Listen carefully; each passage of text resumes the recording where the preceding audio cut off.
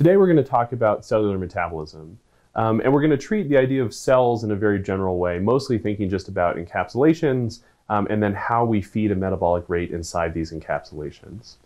Now, this overall topic connects to our general question about which aspects of extant life are general and which are arbitrary. So we know that most or all of the life that we know is encapsulated in various ways, from single cell bacteria, which have simple encapsulations as the entire body of the organism, up to multicellular organisms where you have encapsulated cells that have other encapsulations inside of them, and then those cells live inside multicellular organisms. Um, but the thing we really want to focus on is what can be said about encapsulation in general. So if we look at very early encapsulation, um, what are the types of principles that we might expect about it? Um, and this may be important as encapsulation might be a critical step in the formation of life um, in lots of different contexts. So what we're going to think about today is imagine you have this spherical cell um, in the middle of this screen, and it's, it's surrounded by a variety of nutrients that it needs. So these are essential nutrients. And so you can see outside the cell, there are all these blue particles, which is some nutrient. And then inside the cell, there's some amount of these blue particles in connection with these orange particles. And that's just to symbolize some sort of chemical reaction. So the cell has some internal chemistry that's different from the outside environment. That's the orange um, dots. And then it brings inside these chemicals to react with these orange dots in order to fuel the overall metabolism. And so what we're going to think about today is not so much what's happening inside this cell um, and, and the reactions happening there, but mostly how do, um, how do these outside uh, particles flux into the cell in order to drive overall metabolism. The way that we can look at this is by thinking about the diffusion equation. Um, so here I've written the diffusion equation um, in spherical coordinates. So this is assuming a certain sort of spherical symmetry.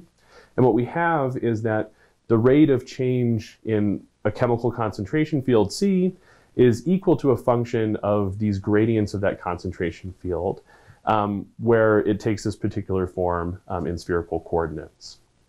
And so what we're interested in um, in this case is a steady state solution. So we're not so interested in the dynamics of changes in this concentration field um, due to small perturbations. We really want to think about just a spherical cell in its environment um, in some steady state condition as a way to understand some limits that that sphere faces.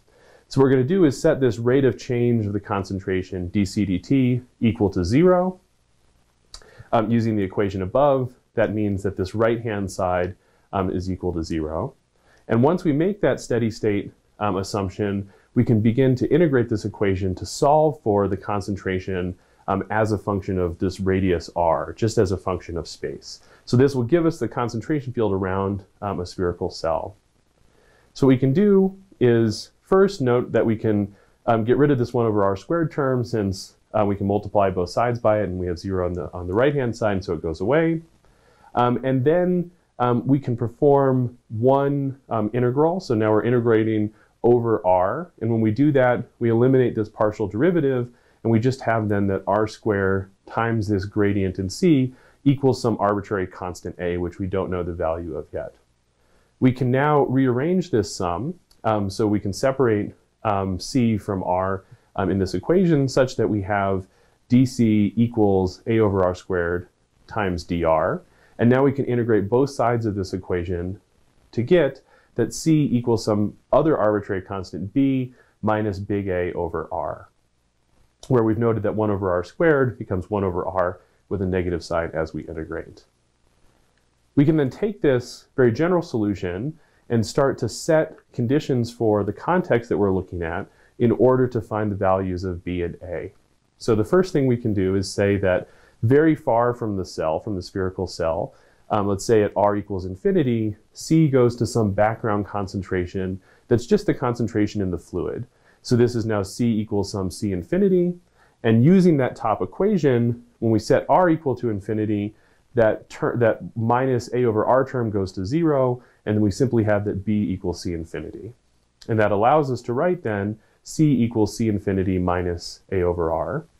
And now to solve for A, we think about what the concentration is at the surface of the sphere of the cell. And if we define the cell's radius to be A, then we can say that at R equals A, C equals zero. So this is assuming that um, at the surface, the cell is consuming all of um, the concentration that's there, this is really a maximum flux condition given some background concentration.